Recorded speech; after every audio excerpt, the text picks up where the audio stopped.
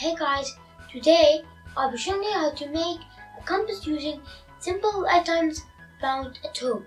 Let's get started. The materials are a bowl full of water, a needle, a magnet, foam or anything light that you can put a needle inside. The first step is to get the needle and the magnet. Rub it in one direction so it can get magnetized for one or two minutes.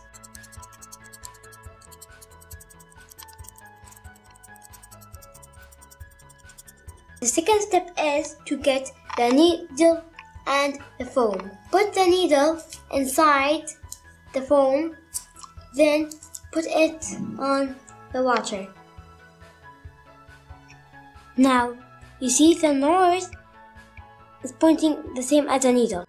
Hey guys, I'm A. Thanks for watching. Press here to subscribe and press here to see our next video. I'll see you next time. Goodbye.